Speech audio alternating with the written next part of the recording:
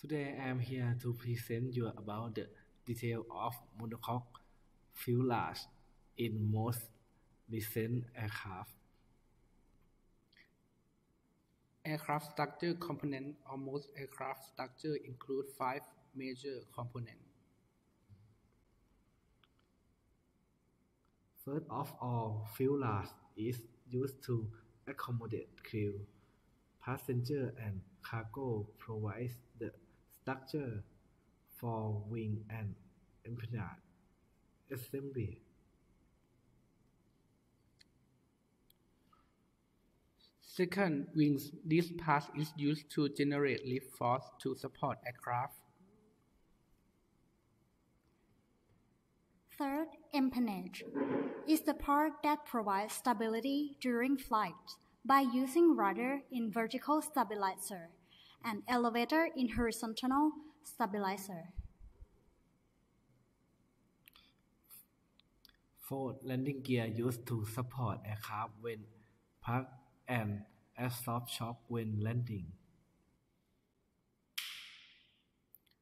The last part is propulsion system used to provide engines and auto-generate thrust.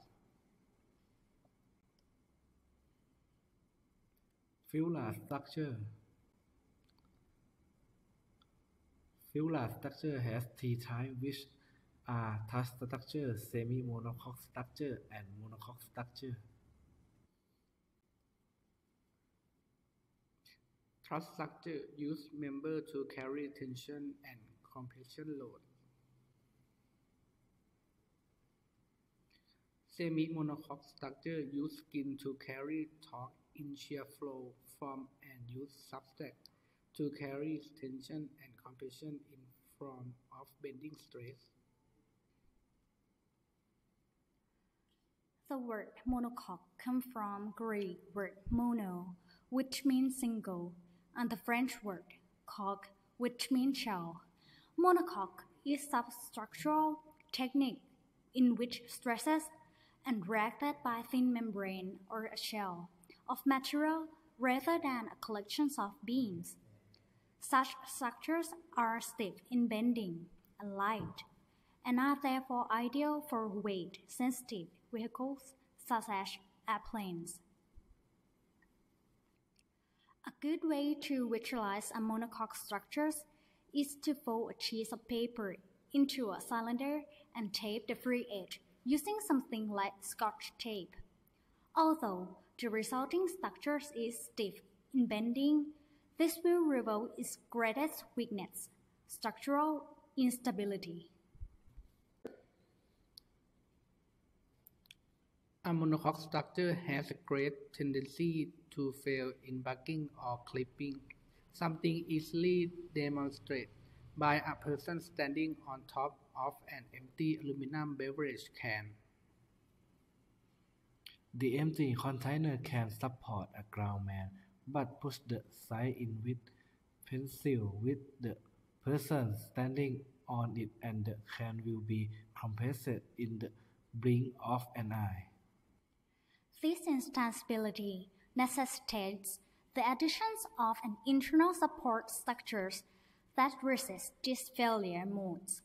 Such a support structures is generally an assembly of frames, bulkheads, stringers, and longerons that show in the picture.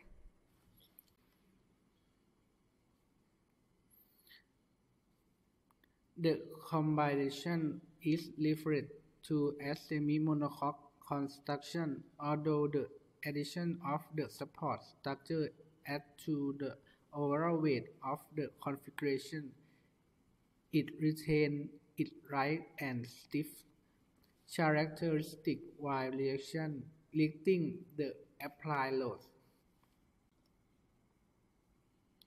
The advent of the monocoque material. In the beginning, the aircraft was built by using wood or steel log as a structure, and the fabric was used to cover the skin.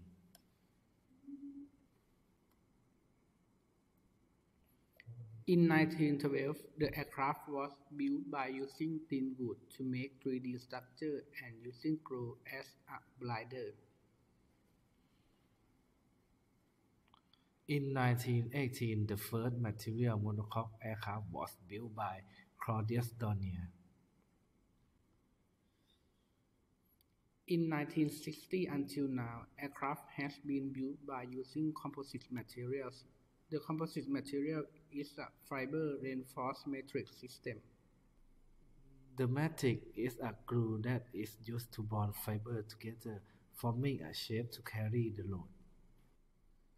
The most common matrix is epoxy resin in aircraft because it has the properties that are strong and have good high temperature resistant performance.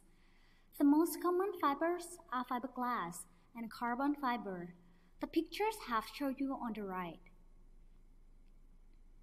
First is fiberglass has well ability to resist tension, compressions, and impact. It was easy to use and inexpensive. Second is carbon fiber. Carbon fiber has well ability to resist tension and compression more than fiberglass, but ability to resist impact less than fiberglass. Carbon fiber can reduce depth and has less corrosion material. Advantage and disadvantage of monocoque structures. Monocoque structures can carry more load than truss structures and also can fly at higher speed. But disadvantage of monocoque structure they were heavy and thick skin because have to be very strong. Monocoque structure have to require more maintenance and not strong enough for large aircraft. All of above, the advance of the monocoque structures was a major breakthrough in the development of aircraft structures. Thank you for your attention.